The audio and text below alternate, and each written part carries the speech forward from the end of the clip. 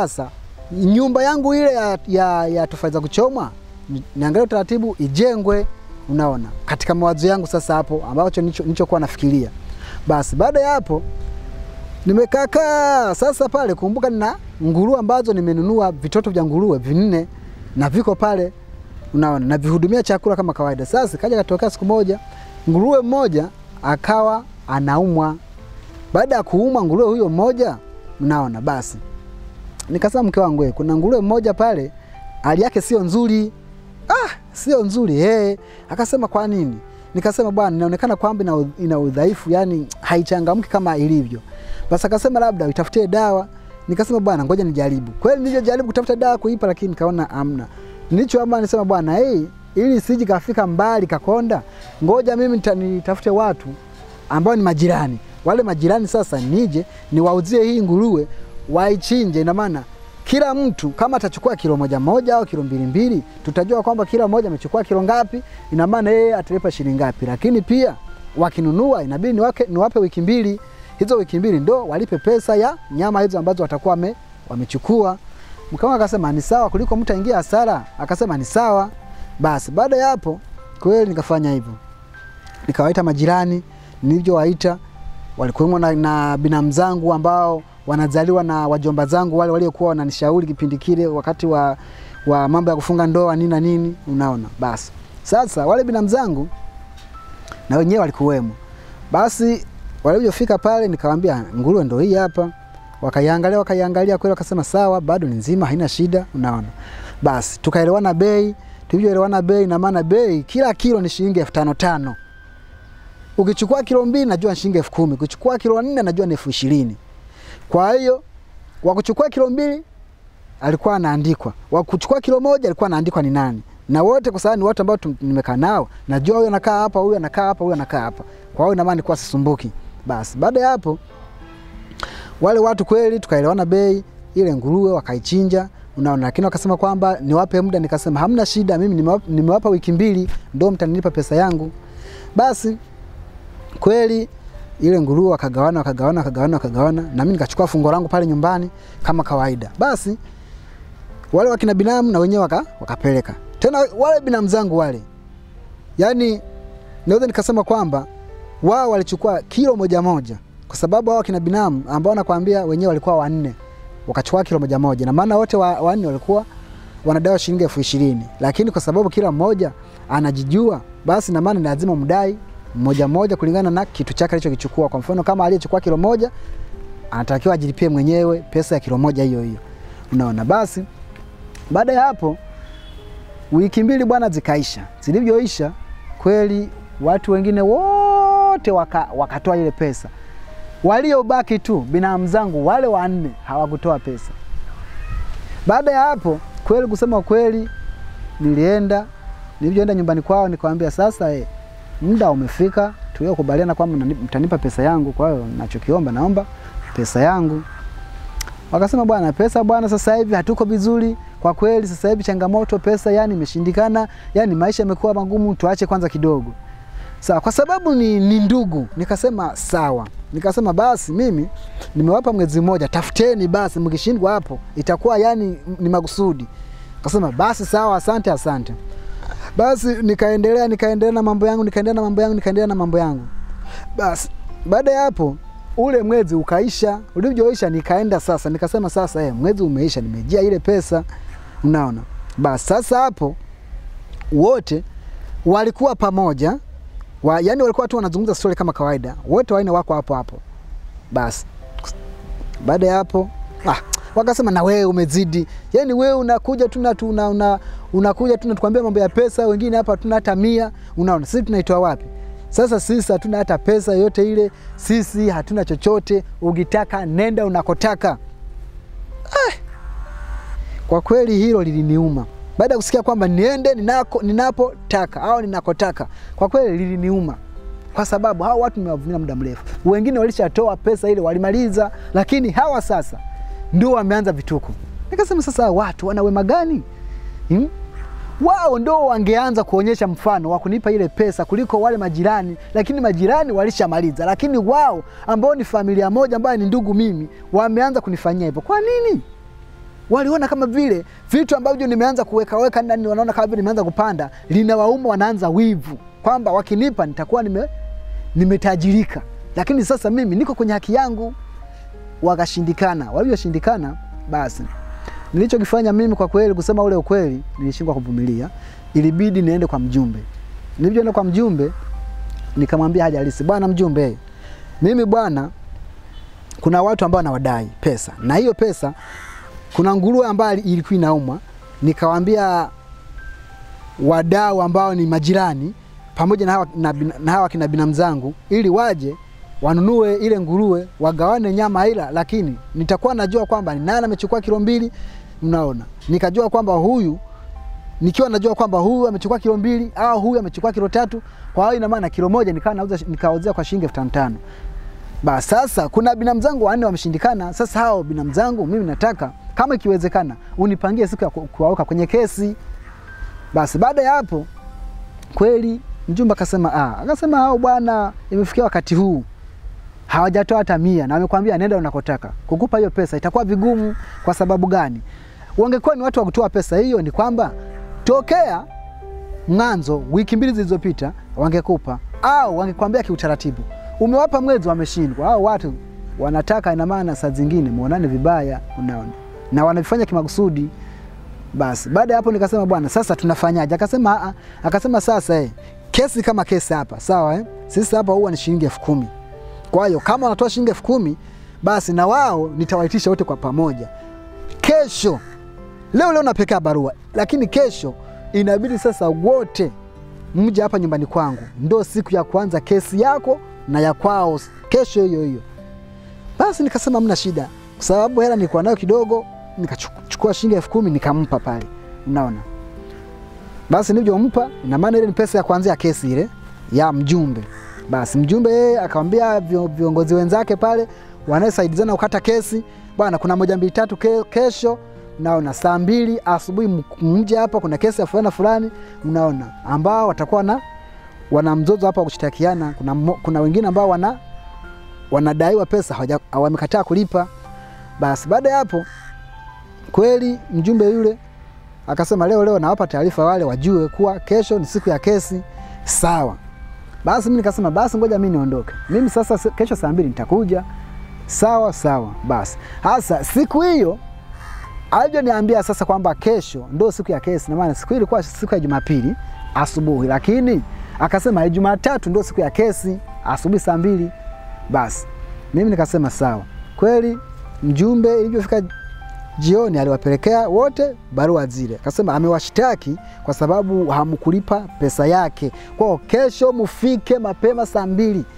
Na kweli walivyoangalia wakaona kwamba ni kweli, hata wakija ni watu wa kushindwa, kwa sababu hawezi kusema kwamba sijachukua kitu, mekichukua katikati ya watu waliona ni kitu ambacho huwezi kusema sijachukua au sidaiwi.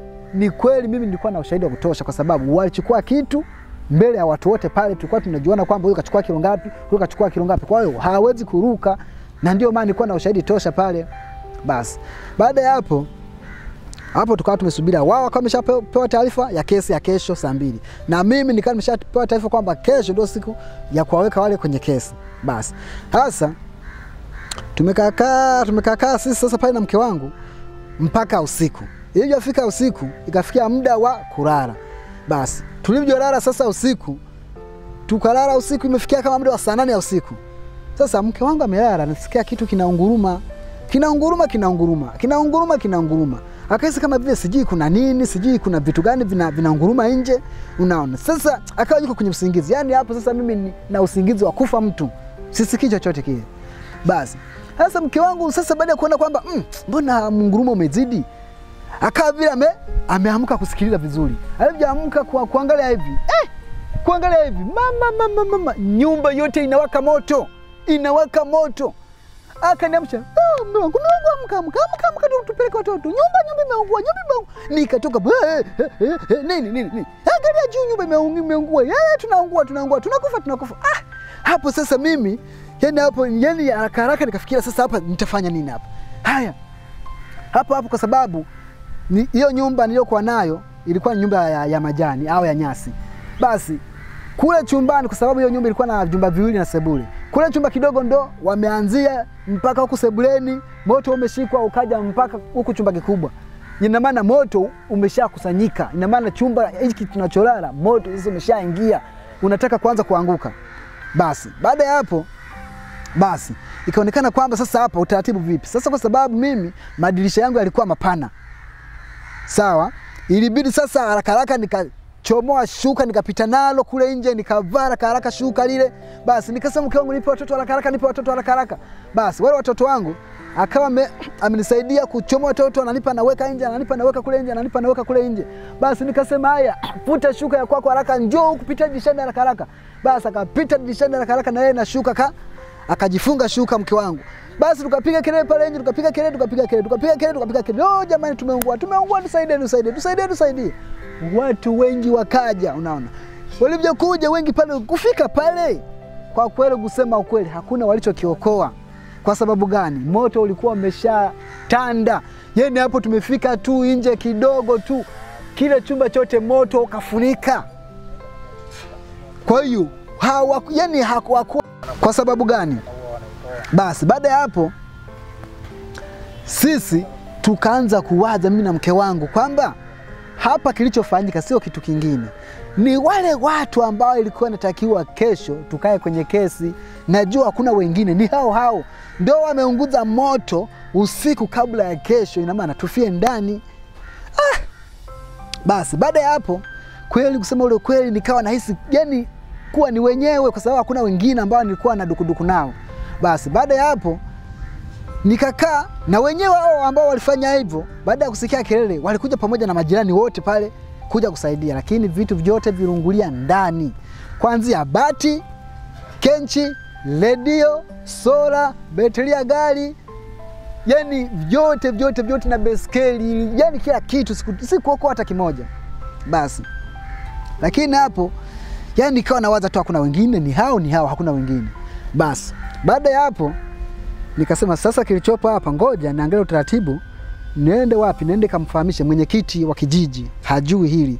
Basi baada ya hapo pia na na mjumbe, kwa sababu hapo mjumbe alikuwa hajafika. Basi yawezekana mjumbe hajui chochote, ijapokuwa tumepiga kelele, wengine wamekuja. Basi baada ya hapo nikamwambia mkubwa wangu, mkubwa wangu, eh, naomba uniazime beskeli, kuna sehemu naenda mkubwa wangu kumbuka, ni mtu ambaye hatu yani, ni mtu ambaye hat, ha, ha, yani ni mtu ambaye naweza nikasema hatuko vizuri na, sawa, hatuelewani.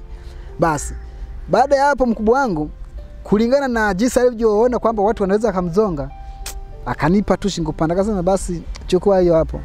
Haya, nikachukua mimi, sikujali. Basi nikachukua beskeli usiku huo huo, unaona hapo sasa inaenda saa tisa.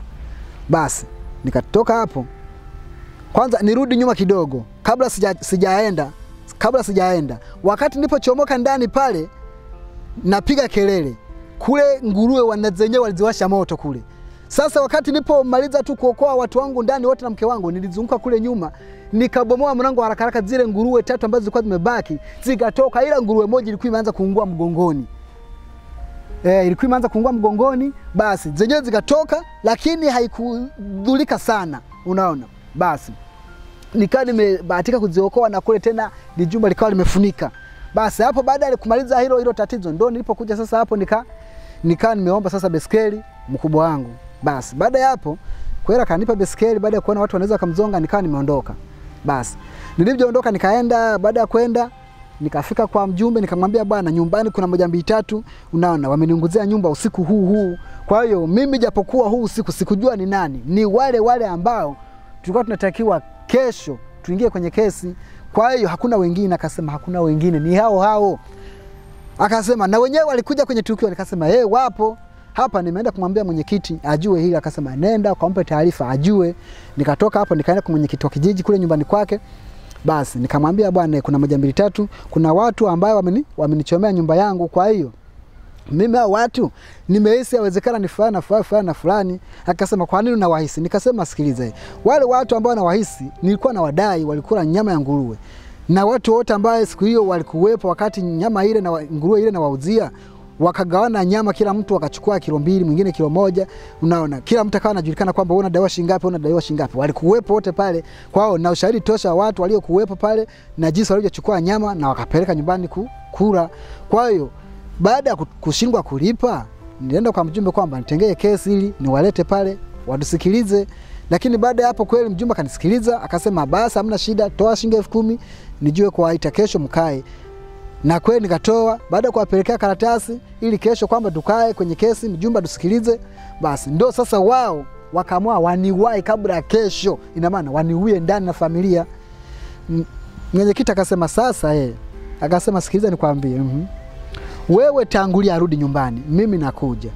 Sawa, eh, Hapa kuna kitu ambacho nimeshaona nitakachokifanya, ina maana pale nataka nifike pale nizugezuge kidogo, nijifanye kama vile sijui nielewe cho, sielewi chochote kile, ili sasa baadaye nitajua ni jinsi gani nitakavyopigia simu ma, wa, ya, nani sungusungu ambao natumia kwamba kukamata mtu pale, mtu akifanya uhalifu, nitawapigia simu, watakuja watawakamata hapa hapa bila wao kujua kama kuna sungusungu ambao watakuja kuwakamata.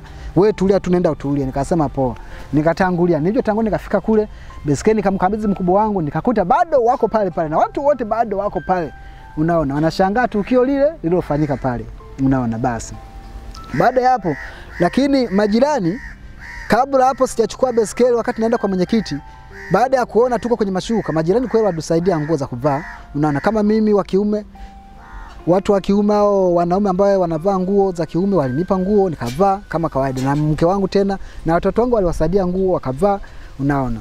Basi baada ya hapo wote tukawa tumevaa nguo, ndo hapo nilipochukua baiskeli nikaenda kwa mwenyekiti. Basi baada ya hapo mwenyekiti kweli hakukawia, alikuja mpaka pale kwenye tukio la nyumba ilivyoungua ilivyoungua, basi akaangalia ilivyoangalia, basi pale akasema poleni, poleni, poleni sana, poleni. Tukasema asante. Basi akakaa tu hapo, unaona. Basi hakutaka kuniuliza kwa sababu nilikuwa nimeshamwelezea jinsi mambo yalivyo.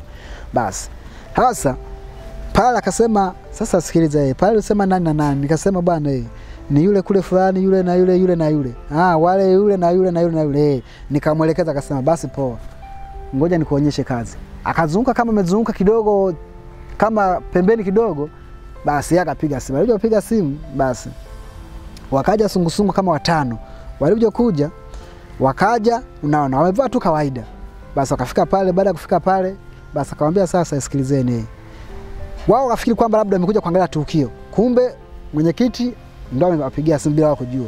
Akasema sasa, naomba mnikamatie fulani fulani fulani fulani fulani fulani wale kule, ili sasa waende kule kijijini, na maana wapeleke ndani, niwaulize ni jinsi gani ambavyo wanaweza kuunguza nyumba ya mtu, wanataka kuua familia nzima wale wote washikwe wapelekwe.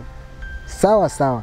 Basi wakajifanya vile wanashangaa moto, naona wale masungusungu wakajifanya vile wanashangaa nini nini nini. Basi basi pale pale wakajifanya kama vile wameenda kuwasalimia wale ambao wameninguzia moto. Pale pale, wakawashika hivi mikanda, wakasema ha, chini ya ulinzi hapa hapa. Eh, watu wanaanza kushangaa nini tena? Nini tena? Nini tena, chini ya ulinzi. Msipige kelele hata kidogo, tunaomba nyie wenyewe msimame taratibu. Twende kule ofisi ya mwenyekiti, mtajua mtakachokiulizwa nyie wenyewe na mwenyekiti. Na mwenyekiti alikuwepo hapo kweli, wakasema ni kweli. Haya, wakawa wapole kwa sababu mwenyekiti alikuwepo, alimuona, alikuwepo hapo hapo. Basi sasa mwenyekiti alichosema, aliwaambia baba zao kwamba hawa tumewapeleka kule kwa sababu gani? Hawa tunahisi ndio wameunguza moto, kwa sababu baada ya kuniambia tukio lilivyokuwa, hawa tunahisi ndio walifanya tukio hilo, kwa sababu leo usiku unaona ndo wamelifanya na kesho ndo walikuwa wanatakiwa waingie kwenye kesi. Sasa hakuna wengine, ni hawa, ndio maana tumewashika na kuwapeleka. Wazazi wao wakasema mm, wakachanganyikiwa, wakasema sasa watu kweli watatoka ndani eh? Wakawa na nini, wakawa na wakawa na wasiwasi. Basi baada ya hapo kweli wakawapeleka ndani, walivyowapeleka wakawaweka ndani, mwenyekiti akafika pale, unaona na mimi baadaye mwenyekiti alikuwa ameshaniambia muda ukipita kidogo uje na wewe pale usikize watakachokizungumza. Basi kweli baada ya hapo, baada ya muda kidogo nikaenda nikasikiliza nika- wanachokizungumza. Basi wale walikataa, baada ya kuulizwa na mwenyekiti, walikataa kwamba sisi hatuja hatuja hatujachoma nyumba wala sisi hakuna tukio la kuchoma nyumba ambalo tumelifanya sisi. Huyu anatusingizia sio kweli. Ah, mwenyekiti akasema sasa, sikiliza hakuna kusema kwamba anawasingizia. Je, kesho mlikuwa na kesi ya huyu na, nanyia au ilikuwa ipo? Ilikuwa ilikuwepo kweli. Sasa kwa nini kesho ndio kesi alafu leo ndio nyumba yake inaungua na kesho ndio siku ya kesi? Ham, ham, hamuoni kama nyie ndio mlifanya tukio hili? Akasema hamna, sio sisi. Anatusingiza sio kweli. Akasema sasa, mwenyekiti akasema sasa, sikilizeni, simekataa kukubali. Sasa cha moto mtakiona kule kituo cha polisi, mavi atawatoka, mimi nawaambia, subirieni niwaambie. Mmekataa kukubali, nyie cha moto mtakiona. Wakataa, wakataa. Akasema sasa, sikiliza. Mwenyekiti akasema wasungusungu ambao mmehusika kuwakamata hawa, naomba sawa, kesho mje hapa ofisini muwachukue, muwapeleke wapi? Kule kituo cha polisi. Lakini sasa nyie mtalipwa na huyu ambaye ana watuhumiwa wake. Basi nikasema sawa, hamna shida, mimi nitawalipa. Unaona, basi kaonekana kwamba kila sungusungu nitamlipa shilingi elfu tano tano. Unaona, basi baada ya hapo, kwa sababu walikuwa watano, unaona kweli pesa ilitoka kidogo, unaona ishirini na tano ikawa imetoka. Basi sasa wakawashika, tukaenda, kwa sababu hapo sasa tumeenda na miguu, hakuna cha nini wala nini, Tuna, tukaenda na miguu mpaka kesho. Sasa ilijofika ndo tulienda, tulijofika kule kweli tukamkuta mkuu wa kituo yupo. Baada ya kumkuta, basi akasema vipi, hao nao wana tatizo gani? Basi pale pale wale masungusungu wakaeleza kwamba hawa alifanya tukio la kuunguza nyumba ya huyu mzee. Kwa hiyo baada ya kuunguza nyumba ya huyu huyu alitaka kufia ndani na familia yote. Mungu tu kama Mungu alipitia dirishani. Kwa hiyo kwa sababu hawakushikwa, hawa walikula nyama ya nguruwe, na maana huyu aliwauzia nyama za nguruwe hizi za kufugwa.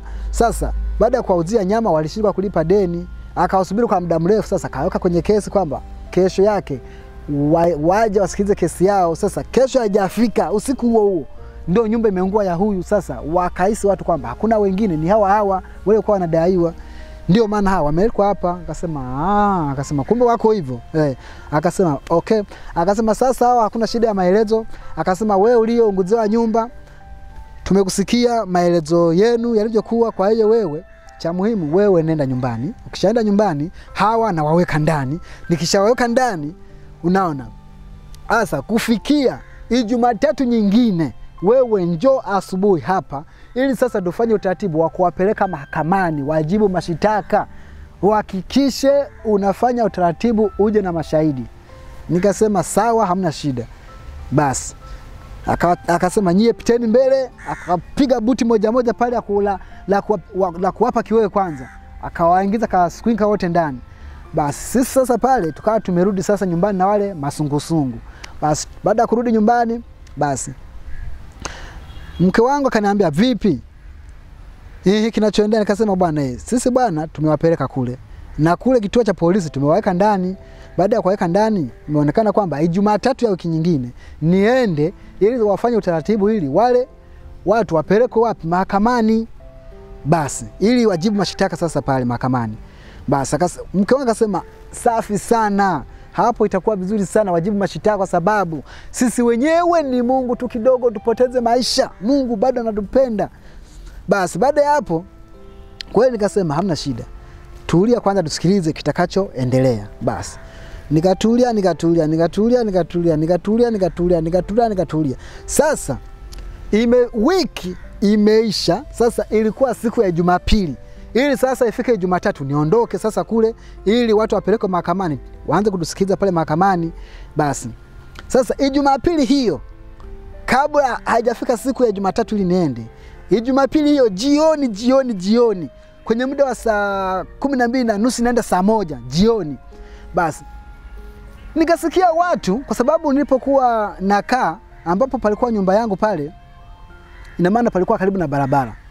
Basi sasa muda huo, kwa sababu nyumba ilikuwa imeungua, ina maana mjumbe alikuja akatuombea, tukawa tu tumepewa chumba na, na mkubwa wangu pale, akatuombea kwa mkubwa wangu, tukawa tumepewa chumba kupitia mjumbe, kwamba hawa watu waache wajihifadhi kwanza hapa. Lakini mkubwa wangu kile chumba alitupa tu, yani kwa sababu tu ina maana tumeombewa na nani na mjumbe, unaona, akakubali tu shingo upande. Muda huo ndo tulipokuwa tunalala kwenye chumba cha mkubwa wangu, kwa sababu yeye nyumba yake ilikuwa na vyumba vinne na sebule. Basi baada ya hapo nikasikia sasa wanapita barabarani wanaimba nyimbo watu hao wanaimba nyimbo eti wema wa Mungu umetuzunguka azunguka azunguka ezunguka azunguka ezunguka azunguka azunguka azunguka ye oh, wema wa Mungu we umetuzunguka. Sasa mimi mm, nikasema wanaimba ni wakina nani? Basi nikasema mm, mbona kama sauti ni ya wale jamaa basi mimi nikasogea karibu na barabara, unaona, kuangalia hivi ni wenyewe wamepita pale wanaimba na wameimba kimagusudi ili niwasikie, unaona kwamba wema wa Mungu umewazunguka. Ulipanga wafunge jela. Sasa? To nikasema sasa vipi? Ina maana hawa wanaimba huo wimbo kwa kunifu, kwa, yani kwa mafumbo mimi kwamba nilitaka niwaue, yani wafungwe jela, lakini wema wa Mungu umewazunguka, wamerudi. Nikasema ah, sasa pale nikawa na waza? Unaona, yaani hao waliokuwa wamewekwa ndani ni binamu zangu wanne, Okay. sawa. Hao waliokuwa wamewekwa ndani ni binamu zangu ambao walikuwa binamu zangu wanne, na wote hao wanne ni binamu zangu.